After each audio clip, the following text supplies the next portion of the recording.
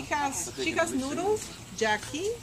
No, uh, Craig's gonna bring out uh, uh, noodles. But you can't, you can't hold. No, no, no. You, you Hi. can hold it because he has ringworm. You can hold. We can touch the dog. He's in treatment. Amber's been treated. She I'm She's treated. She had ringworm. I'm not even joking. My entire house was had ringworm. Everybody. Really? Yeah, my dog, all four of my cats, myself, and my husband. How did you get that? It was from. Literally From the from kittens touch. that we that we found in the dumpster had ringworm. Yeah, but it's contagious to, to humans. Yes. You know what works really well to cure it is the athlete's foot medication. Oh, really? Yeah, Oh. that or uh, tea tree oil. Really, He's getting good. like uh, medicated bath and some ointment, some kind of. Probably the same thing.